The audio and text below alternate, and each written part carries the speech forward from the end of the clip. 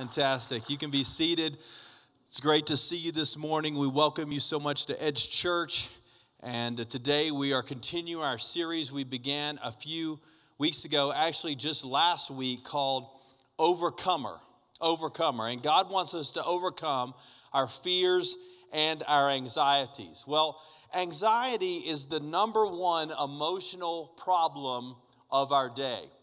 And psychologists tell us that panic anxiety is the number one mental health problem for women, and it is the second problem for men behind substance abuse.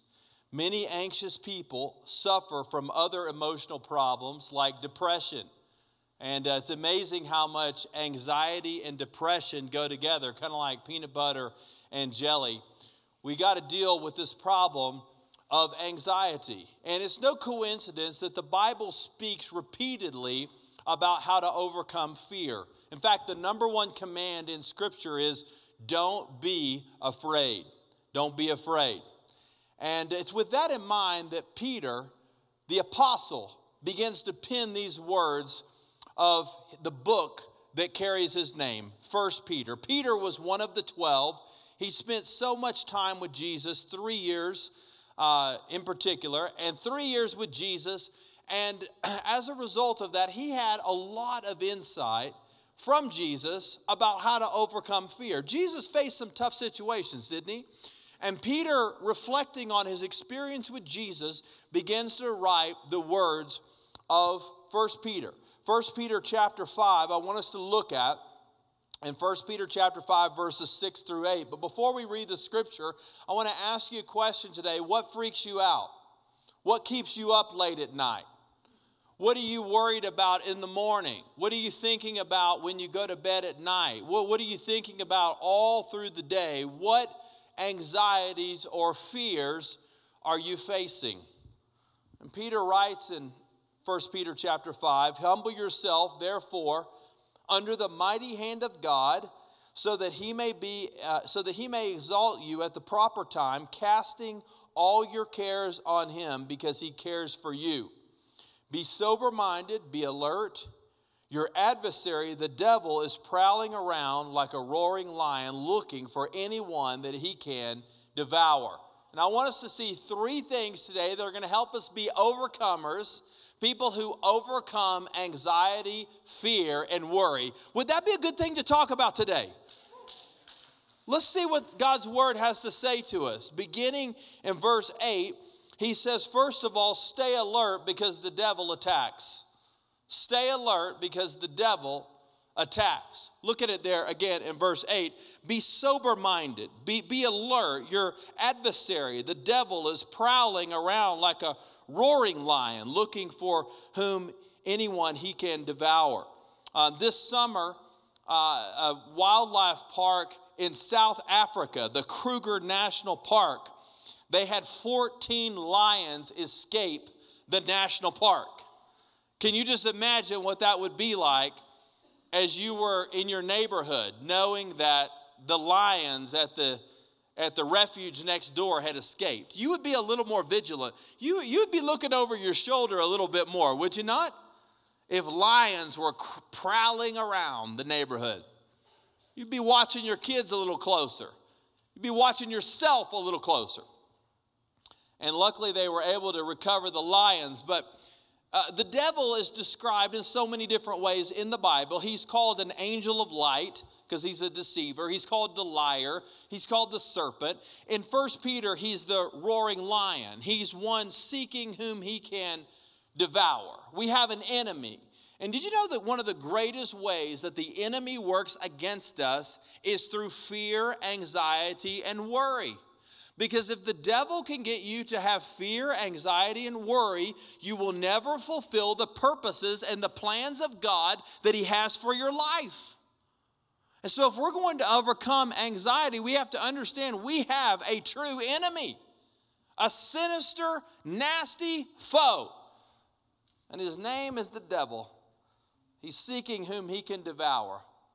So, he says here we should be sober minded sober minded. Sober minded means that we just need to be aware. Like there, there are usually two camps when we talk about the devil. Some people don't ever think about their, the spiritual world at all. People think that everything in the world is just what we see, and there's nothing, there's not angels, there's not demons, there's not God, there's not, there's not the devil. It's just everything is what we see with our own eyes. That's one extreme. Another extreme is people that think the devil is like everywhere, you know? They messed up my latte at Starbucks. It must have been the devil. I got a flat tire on the way to work this morning. Must have been some demons. No, maybe you just ran over a nail. I don't know, you know? Uh, I flunked my test. Well, maybe you didn't study. You know, I don't know. so we shouldn't discount the devil, but we also should not obsess about the devil and and, and think that every bad thing that happens in our life is because of the devil. We need to be sober minded, he says here. Be sober minded. And, and part of being sober minded is recognizing that we have an adversary. Notice he says in verse 8, your adversary. In other words, he's your enemy. He wants you to be miserable, he wants to come after you. Uh, we should respect him but we should also resist him. Now, when I say respect him, I don't mean you have to, I hope you don't like the devil, but we ought to understand that he is powerful, he does have influence, he is a legitimate foe. God is greater than the devil. Jesus has defeated the devil, but the devil is always trying to do what he can do to mess up and to throw a wrench in the plans and purposes of God. So we ought to respect him, but we also can resist him. And in James 4 7, it says that if we'll resist the devil, he'll flee from us. So, how do we overcome fear and anxiety? Number one, we have an enemy. We have an enemy, and his name is the devil. And we ought to stay alert because he's always attacking. He's attacking. We also ought to stay hopeful because God cares. And this is what he says in verse 7. He says, Look with me if you would. Cast all your cares on him because he cares about you. I mean, did you know that God cares for you? God is thinking about you. You matter to God. God really does care. God cares when you get a bad report from the doctor. God cares when you don't have enough money to pay your bills that month. God cares when you're confused and afraid. God cares when you're going through a breakup. God cares when your marriage is struggling.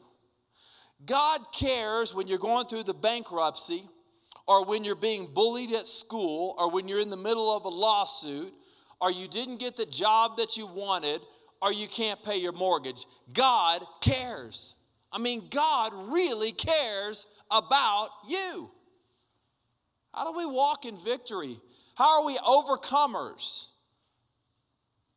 We got to understand God really does care. God cares for you. God cares. He really does. He cared for you when you were knit together in your mother's womb. He, he cared for you at the beginning of creation. The Bible even says that God cared for you even before the foundations of the world. God knew that you would be created. He knew your name, He knew everything about you. God cares.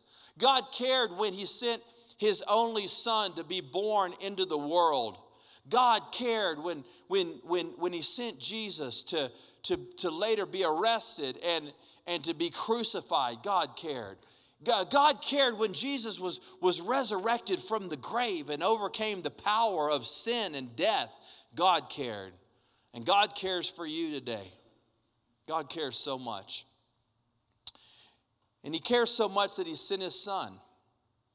Uh, he, he cares so much when we're discouraged. He cares so much when we're confused. He cares so much when we are overwhelmed. And uh, you can't understand the ministry of Jesus if you don't understand his compassion. Now, Jesus, reflecting the heart of God, in Matthew 9 36, the Bible says, when he saw the crowds, he felt compassion for them because they were weary and worn out like sheep without a shepherd. Jesus cares. Jesus cares. He cared for the people. Uh, Jesus cared for the group, he cared for the individual. Look in Mark chapter 1 uh, verse 41 moved with compassion, Jesus reached out his hand and touched him. This was to a man with, who had leprosy. I am willing, he told him, be made clean. Why did Jesus heal the man with leprosy? Jesus cared. Jesus cared. He was moved with great compassion. And in Romans chapter 8, the scriptures tell us that Jesus is even at the right hand of the Father interceding for you. Now, does it get much better than that? The love of Jesus did not end when he ascended into heaven. The, the love and the compassion of Christ continues today, and he's interceding for you. God cares. God cares. Cast all your cares on him because he cares for you. The reason you can cast your cares is because God cares. Because God cares. Uh, Jesus met big needs and little needs. Big needs and little needs. Some, have you ever thought, well, I don't want to bring this need to the Lord in prayer because it's a small need? Have you ever thought this is too small to pray about? It concerns me, but I don't want to bother God. I've never said to my kids, don't bring me your small problems. When my kids want to talk about just the smallest, the smallest problem, I want to hear all about it. Let's talk about it. I care. I care. Big problems, little problems, let's talk about it. I think the Heavenly Father is the same. He wants to know about the big cares and the little cares, and that's why he says, Cast all your cares on, on me. Cast all of them. Throw all of them on the Lord. Now, Simon Peter had seen, had seen Jesus meeting his needs. He knew Jesus cared. I mean, in, in Luke chapter 5, Jesus is kind of introducing himself to Simon Peter, and Peter's kind of testing Jesus out, and, and, and he goes out into the Sea of Galilee, and Jesus says, Throw your nets overboard, and he catches so many fish that the boat begins to sink. and Peter was a fisherman, and Jesus knew that Peter needed a business breakthrough. He had so many fish, he had to bring in all of his buddies to bring in the catch. I mean, it's pretty amazing. Some of you need a business breakthrough. Jesus cares. Jesus cares. Uh, Jesus cares about our finances. Uh, Peter was worried he wasn't going to be able to pay his taxes. And in Matthew 17, Jesus said, Go fishing, and the first fish that you catch, there's going to be a coin in his mouth. Take the coin out and pay the taxes. How about that for fishing? and he does. And there's financial provision. Jesus cares. Uh, Peter needed a miracle. That's why he began to walk on the water with Jesus. Some of you need a miracle. You need a miracle.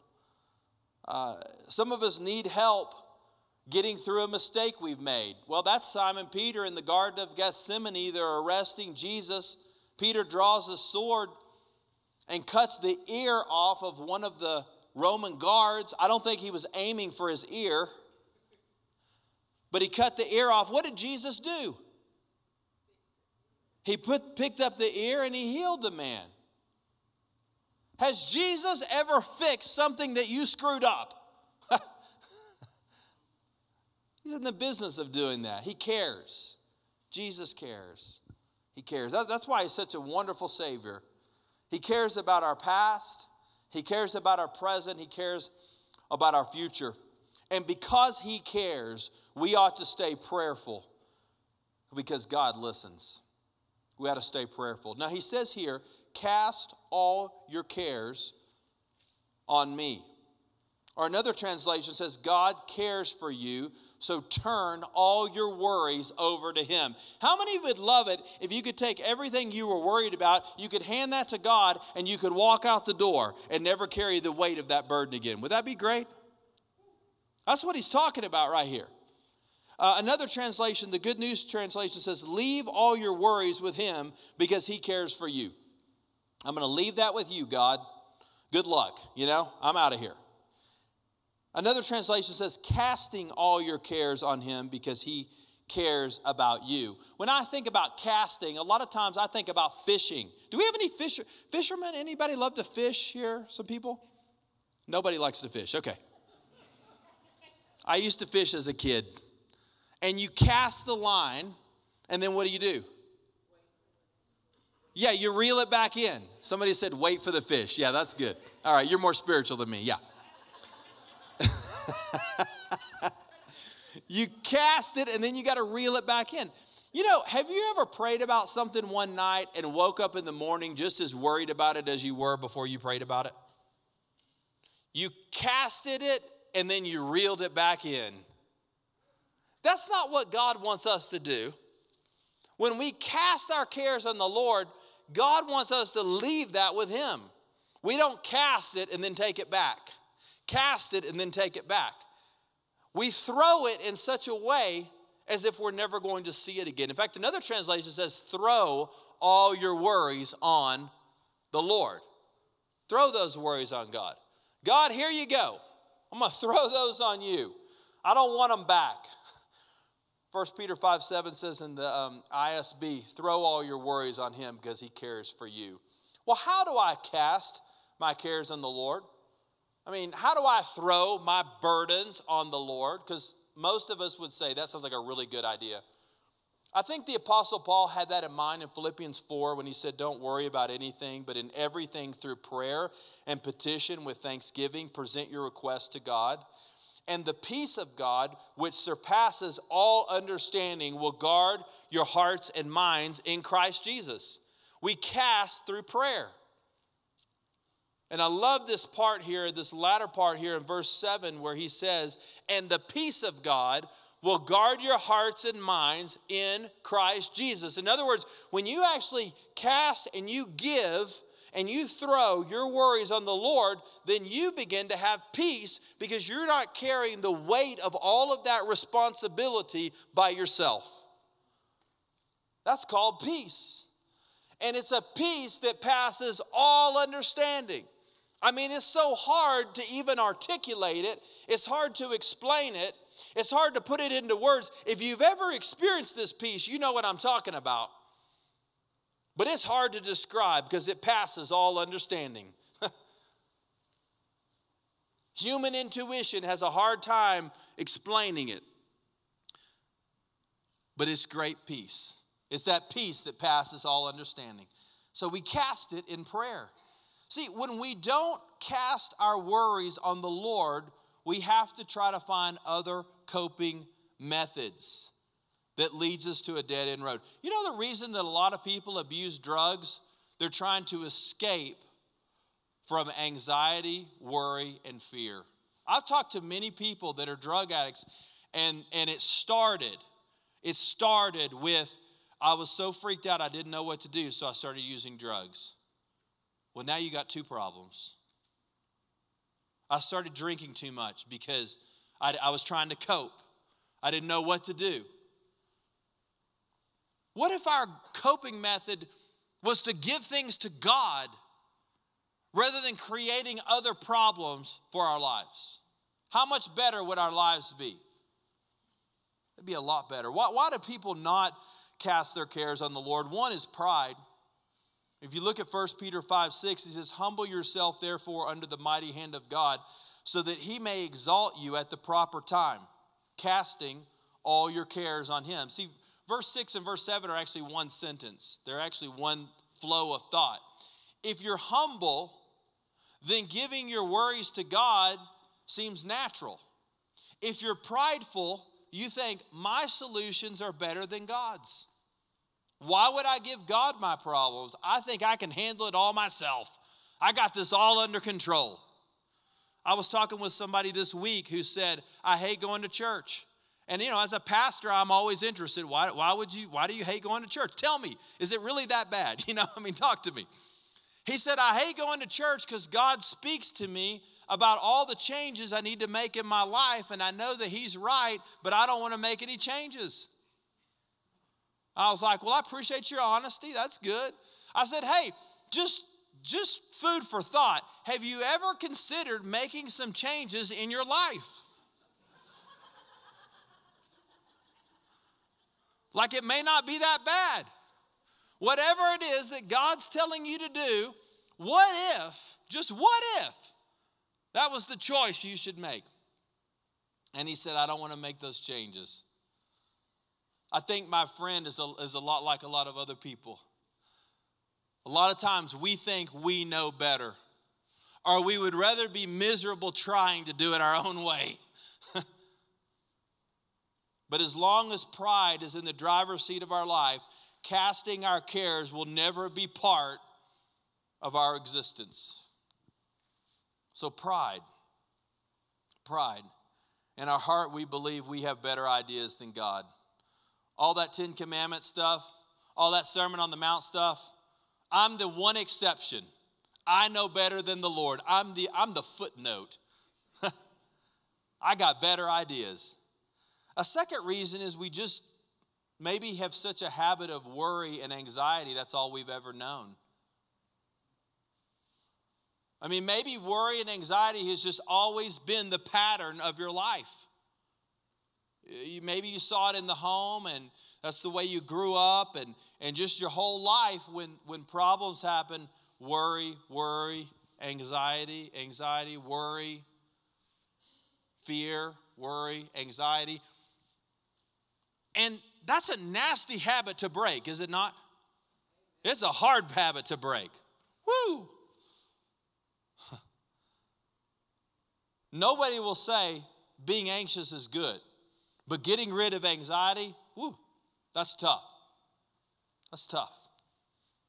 He says, Cast all your cares on me. Start a new pattern for your life. What would it be like today if you made the decision, I'm not going to live under the weight of anxiety anymore? I'm leaving that with God. I'm not going back. I'm setting a new precedence, a new pattern for my life. My family's going to be different. I'm moving a new direction. I'm not going to do what I have always done before. Cast all your cares on Him. Cast all of them. You know, uh, our church is celebrating our 10 year anniversary in two weeks. Is that incredible or what? 10 years. 10 years. Come on, 10 years. And so I've been thinking about this a lot because 10 years is, is a long time. You only get to celebrate a 10 year anniversary one time, I think. Is that right? Once? It's a pretty big deal. 10 years. 10 years. It's been, it's been great. I'm telling you, some amazing things. We've thrown some Hail Mary passes here at Edge Church, and some great things have happened. But I got to be honest with you, there's been some other times where things have been very difficult and very hard. It's not easy. It's not easy. There's been some times where I've had a lot of fear and anxiety. I'm preaching out of my own my own experience here today. And it's tough, but I'll tell you, Gina and I are more convinced today than we ever have been before that the only way to walk in victory over fear, anxiety, and worry is to take our burdens and to give those to the Lord. The small ones the big ones, the medium sized ones, that is the only way to keep going. And I believe that we're here today because we have continued to give God the burdens that were too heavy for us to carry. And I think the same is true in our own lives.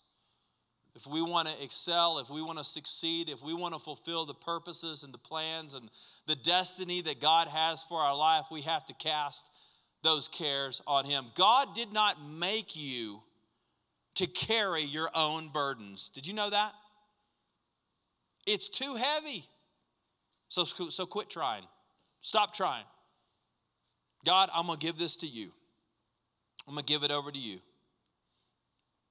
Well, my quarterback experience began in the fifth grade. In the fifth grade, I joined a football team, and the coach said, Ryan, you're going to be our wing back, but I need you to be the backup quarterback. And I was like, all right, coach. Whenever you need the backup quarterback to go in, I'll play quarterback. I never really wanted to play quarterback, but we had a quarterback, our starting quarterback cried a lot. And he was always getting hurt in the fifth grade. And our team won one game in the fifth and sixth grade. We, we actually lost all games in fifth grade. I think we won one in sixth grade. So in two seasons, we won one game. We didn't have a very good football team.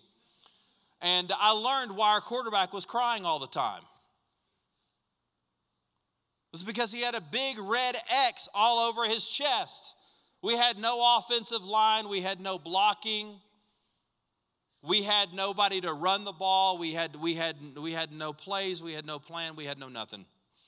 And so when quarterback Ethan would cry, coach would put me in. And then I would think about crying. You know, it was, it was bad. I learned the worst place to ever be on the football field is the quarterback of the opposing team that has no game because the defense is coming for you. There's nobody else to worry about. So I perfected the fastest handoffs known to man. I could take the ball and give it to the running back, and I remember a few times even pointing. He's got the ball. Because there were guys as big as my dad that were laying on top of me, and it was not pleasant. If it was a pass play, I would take the snap and I would throw the ball. And I didn't even care if there was a wide receiver that was running down the field. It was just, I'm gonna get rid of it quickly. Just get rid of it, man. They're coming for you. They say that a great NFL quarterback can throw the ball 70 to 80 yards. Can you believe that? Like in practice, 70 to 80 yards, and up to 70 miles an hour. It's pretty incredible. In the NFL, if you're a running quarterback, you don't make it. It's too much of a financial investment, and guys get hurt too much. So, if you're a drop back passer, you got an opportunity maybe in the NFL. If you're a runner, forget it. High school, maybe college if you're lucky. If you run too much, they cut you. I was thinking about this word throw, cast all your cares on the Lord. And that's not a fishing line because a fishing line we reel back in. That's a quarterback. Quarterbacks are in the business of throwing, and they are throwing far and as far and with high intensity as they can. God wants us to throw like an NFL quarterback. Did you know this? God wants to be your wide receiver. God wants to catch the ball, and if the defense runs after him, well, then good luck. We should be throwing that football. We should be throwing those problems wherever we go. When we begin to be anxious about the future and about the things that are before us, we should be casting. We should be casting. We should be throwing. We should be throwing our cares on the Lord. Don't you throw that back at me. I gave that to you. I don't want that back. Somebody else throw in there.